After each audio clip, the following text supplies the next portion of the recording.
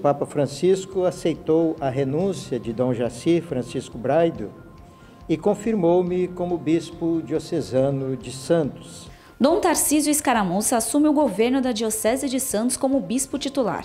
Em sua apresentação, Dom Tarcísio enalteceu o novo momento da igreja e enfatizou a necessidade da aproximação com os mais carentes. Eu acredito que nós temos, nós temos uma, uma responsabilidade né, de responder a esse chamado e agora, de modo particular, nesse, esse, nessa convocação nova né, de, em saída, o Papa fala é preciso ir às periferias. Eu acho assim, é, a igreja já está presente ali, né? várias comunidades nesses espaços, né?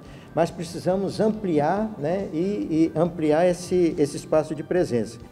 Após 20 anos de atividade, o ex-bispo titular Dom Jacir Francisco Braido disse que se dedicará à atividade pastoral. O desejo é de trabalhar, digamos assim, na atividade pastoral. Trabalhar assim nas celebrações de missa, confissões, eh, nas visitas também em, paróquias como ponto de referência.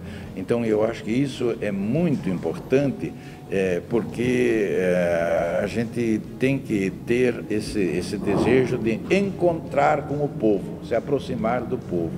Então o meu desejo é trabalhar na pastoral diretamente com o povo num diálogo assim mais uh, aproximado.